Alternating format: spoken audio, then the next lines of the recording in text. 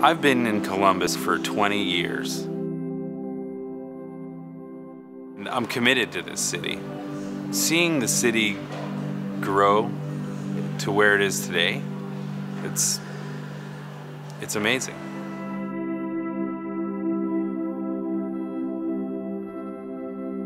One day, an email popped up from the James Beard House asking to call.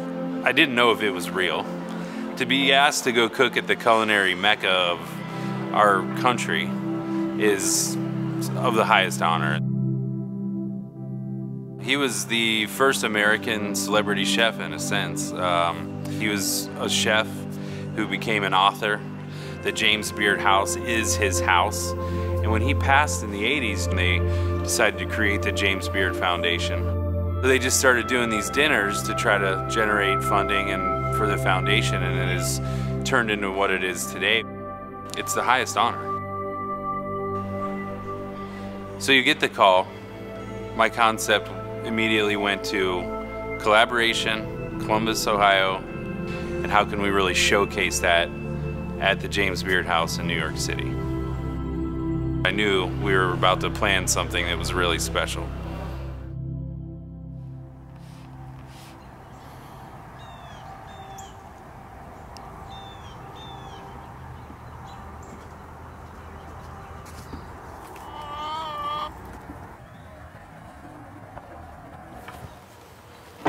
Hey, Bill.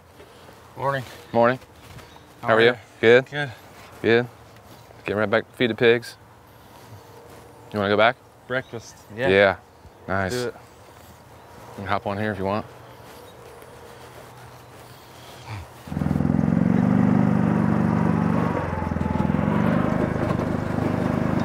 This land is beautiful. Rolling hills and Mm-hmm. it's really well done. Thank you.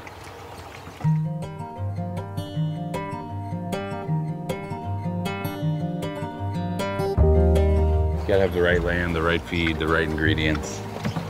Raising them outside is a big thing. On them ground. On ground. Letting them eat. Commodity pork, cement, slabs. This is No natural. concrete. All natural. I want to get two breeds on the menu. Okay. I'm thinking Berkshire has that namesake, and you're doing a doing it really well. But I really want to key in on that. I think the Mangalitsa. Okay. And being that the Mangalitsa has that really nice marbling, I think we could use loin in, in the courses. Yeah, that sounds good. You know what I mean? Should should produce it really nice and juicy. Yeah.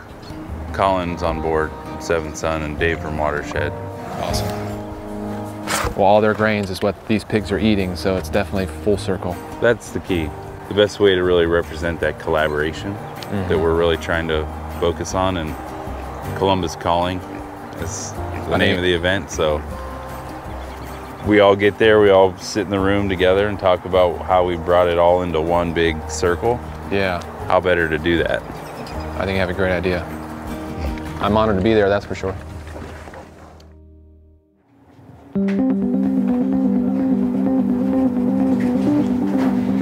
There's the art. That's beautiful.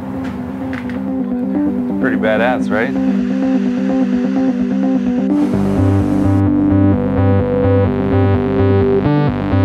We want to come here tonight and tell the story. We try to do that every day at the restaurant is tell the story about the food, what's behind it. We really put a lot of effort and time into coming here and bringing Ohio to New York. And you know, we're honored to be here and thank you all and let's have fun.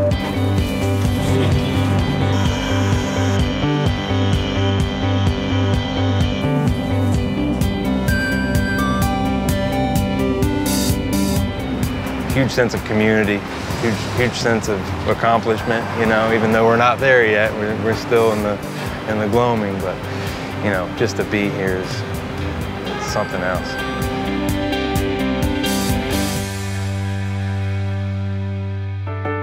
We've been game planning this entire event for over three months, at least a thousand emails. It's been a it's been a heck of a thing to bring everybody together on, but it's been an experience that I've enjoyed.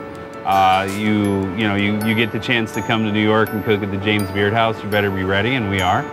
Uh, and you know, we got about three hours and it's go time.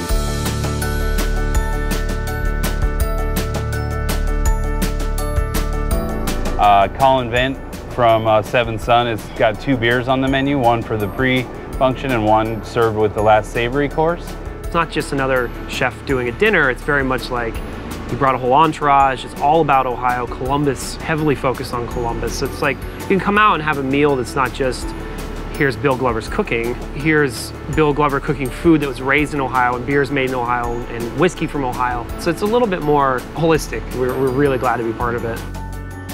Buckeye chicken sausage, Anderson Farms. We're doing a, a heritage breed chickens, heritage breed rabbits, and heritage breed pigs. I think as chefs get older, they realize how much more important that really good quality meat is. It's a very pure, old-fashioned, delicious way to raise meat. Travis Owens from Curio has created cocktails for the pre-function. I'd say about 98% of the stuff on the plate and in the glass is uh, coming from Ohio. It's a mixed thing, a little bit of nerves, but not too much. I think if we, if we uh, do our thing that we normally do when we're at home in Ohio, we're gonna show very well. Uh, it's a Mylar baggie, just like a Capri Sun. It's a light, fun cocktail. Uh, it'll kind of be an icebreaker. How easy would this be to get into the Buckeye? I mean, Now you know that uh, Columbus discovered America, but tonight we are all going to discover Columbus. James, hit there and then go come back here real quick, just loop around me. Josh, we got two trout missing right here.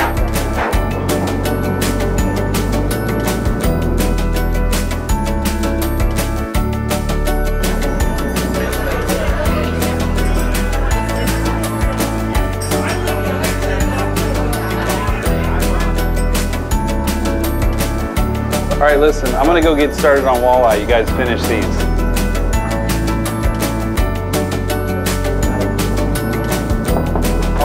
That's good for cutting. Let's get this out of here.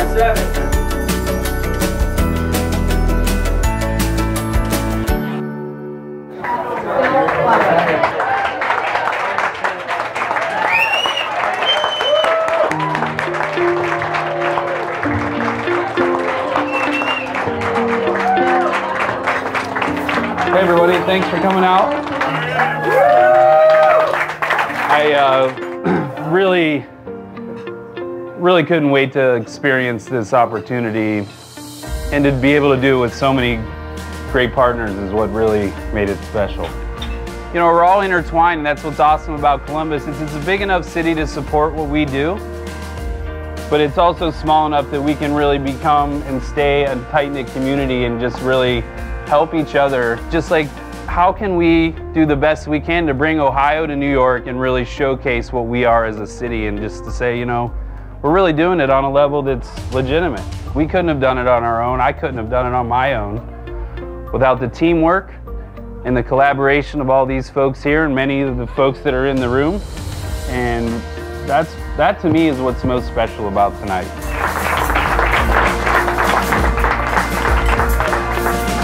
Cheers.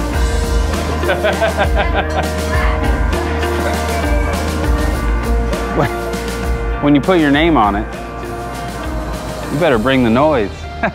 you know, make it make it count, and hopefully get a shot at doing it again and bringing attention to Columbus. I think we got that point across. Columbus is a it's a big city, but it's small enough that we can maintain these relationships and actively pursue these collaborative efforts that really drive home who we are, what we're about, our place in the country, our place in the culinary landscape. I'll put it up against any anywhere. It's, it's Ohio, man.